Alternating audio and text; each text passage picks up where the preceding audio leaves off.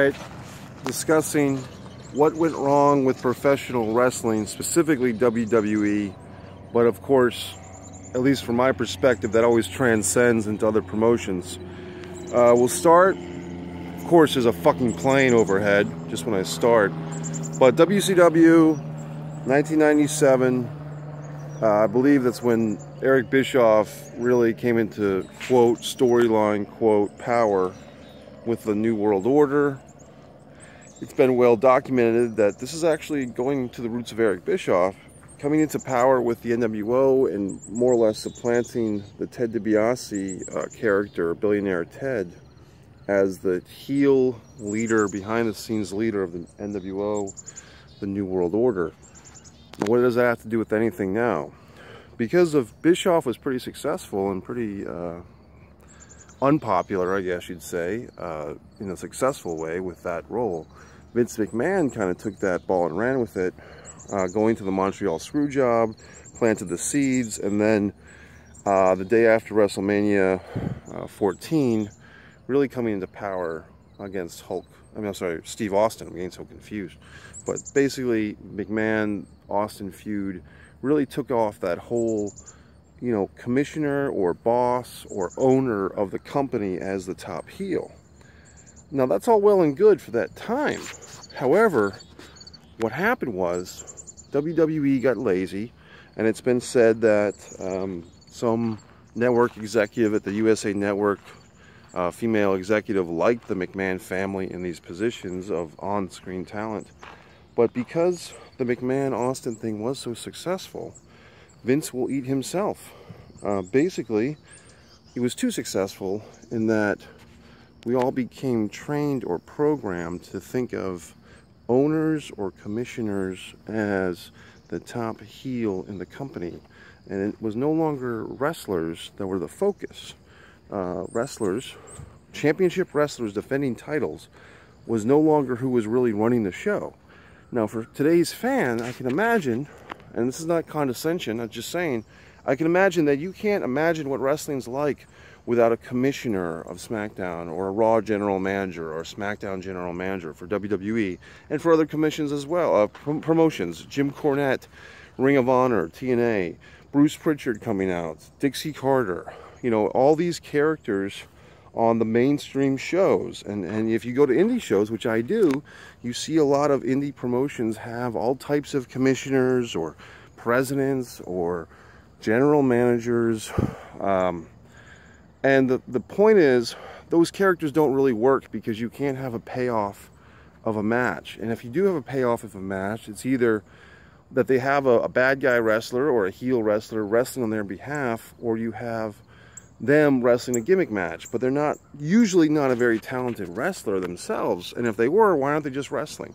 The point is that the emphasis has been taken away from championship belts, such as, let's say, the traditional Ric Flair or the traditional Harley Race, who's defending the championship as a heel that guys are chasing. The guys that you want to beat them, Nikita Koloff, Magnum TA, Dusty, whoever, or in the WWF, you could say if you wanted Greg Valentine or Morocco or, or some bad guy, Piper, to face Hogan, or if you wanted, you know, um, whoever, you know, uh, you wanted uh, the bad guy chasing the good guy, uh, George Steele uh, chasing Bruno, or Ivan Koloff challenging Bruno, whatever. The point is that emphasis from the championship belt is gone away. It's been diminished because now the big concern, and I think it's really the promotions, the WWE especially, they want to make us think, or they think that we care who the Raw general manager is. Oh my God, Kurt Angle's calling the shots on SmackDown. Well, obviously it's a facade. We can see through that. He's just playing the role. But all those times with interviews, all that lengthy promo time of Kurt Angle discussing who's going to wrestle who, all these backstage vignettes, which I have another issue with, um, which I guess I'll get into now. Uh, but all that stuff takes time away from the actual wrestling. And you can say, well, you got a three-hour show to fill, but everybody's getting sick or well past sick, 10, 15 years worth of being sick of these lengthy opening segments of interviews and promos in the ring. Now, if you want to talk about, or I'll talk about, um, the backstage vignette is one of those deals which I think has gone on too long and too far.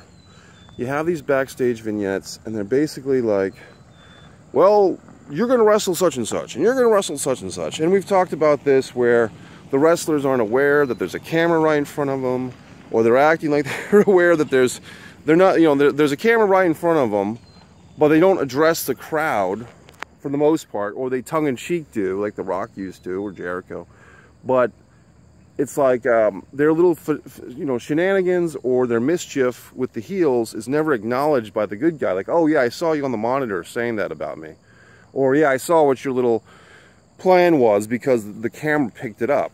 It's this weird, you know, fourth wall thing, which it kind of goes to uh, that Ultimate Warrior in the Mirror thing from Nitro 20 years ago, which is who's supposed to be aware of what?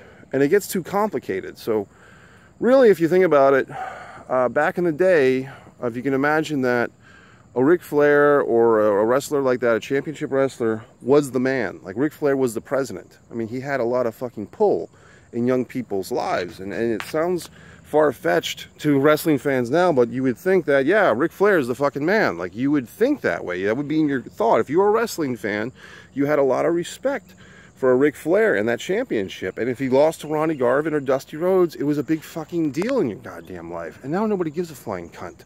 So if you're talking about things like you deserve it and all that stuff, it's just a different way of interpreting wrestling. It's a different way of presenting it, and it's really not the fans' fault. It's, it's, it's basically you can blame Bischoff for this one, for putting himself over with the NWO, and then blaming McMahon.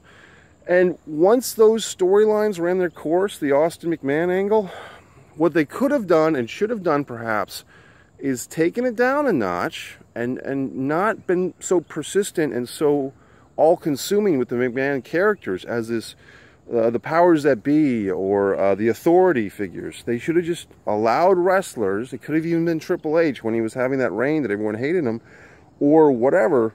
Allow the fucking wrestlers to be the star of the wrestling show. When you make the wrestling commissioner or general manager the star, the main heel, you're going against Roland Barthes, uh, the perfect bastard. 1972, I believe, Roland Barthes wrote a philosophy, French philosopher, about the perfect bastard. Allow your bad guy to be your bad guy.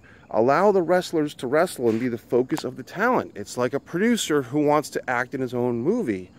Unless you're Clint Eastwood or whoever, uh, Sylvester Stallone, that's not going to work all the time. And you can say, well, the McMahon character is awesome. It's great. Yeah, the first time but not year in, year out to get to the point of Linda McMahon, uh, Stephanie and Shane.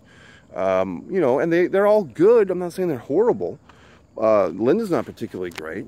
Uh, no offense to her as a character. But uh, just to just to basically diminish the pro wrestlers, sports entertainers, and build up the general manager character. I'm just saying over and over again, but you've taken that balance away uh, back in the day, if you saw Jack Tunney on TV once a year, or, or twice a year, whatever the fuck, that was a big deal. To sign Andre and Hogan contract, to sign Andre and Ultimate Warrior contract. See Jack Tunney. If you saw Bob Geigel getting punched by the Magnum TA, that was a big deal. These promoters uh, were kind of in the background. A lot of things just happened without them. And I don't think wrestling fans today can understand they used to do just fine having angles develop where the matches just happened naturally or more organically or yeah it just seemed like they were just thrown together somehow and it happened because the main pursuit was a championship title match now and the other thing i hate is uh break aparts and and try to explain this so many times like the casual break apart where kurt angle will say you don't wrestle this guy and you don't wrestle this guy you don't fight they're always doing this thing where the wrestlers are encouraged not to make body contact or not to fight each other. But doesn't is that what wrestlers are supposed to do? There's always this thing where the wrestlers are not supposed to have conflict. Don't have conflict. Don't don't fight. Don't or you can't fight because I'm going to put you in a tag team match, or we're going to save this for the pay-per-view, or you're going to have to beat this. But it's always this weird thing of discouraging what they're supposed to do. They're supposed to fight each other.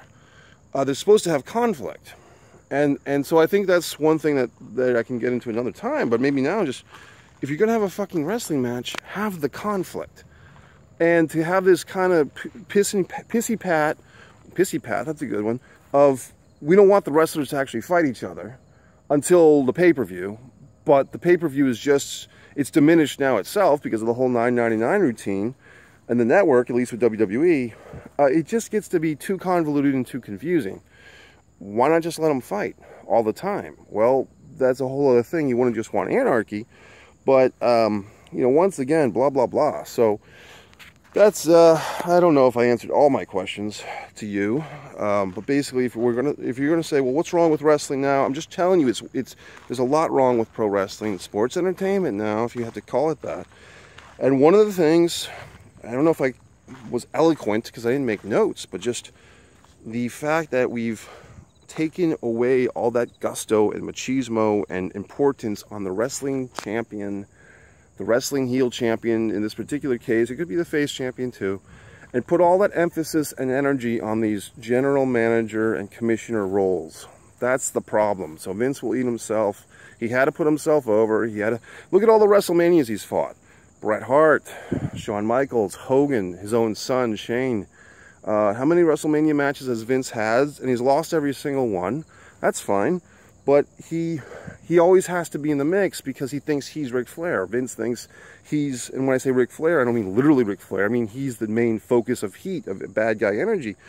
It's just, it gets to be redundant, and you've got a whole generation of emasculated wrestlers. And what does that mean? Well, look it up. Emasculated means you have your balls cut off. So all these heel champions that could have been something, whether it's Kevin Owens or whoever, um, they've been emasculated because they haven't been the top heel. The heel's always been the McMahons for the last 15 or, or pushing 20 years now. And that's one of the reasons why Vince will eat himself and wrestling is just not as good. I'm sorry, it's just not as good. So I don't have a solution right now. Maybe I'll work on a solution later, but enjoy your Sunday. Mike Messier, once again.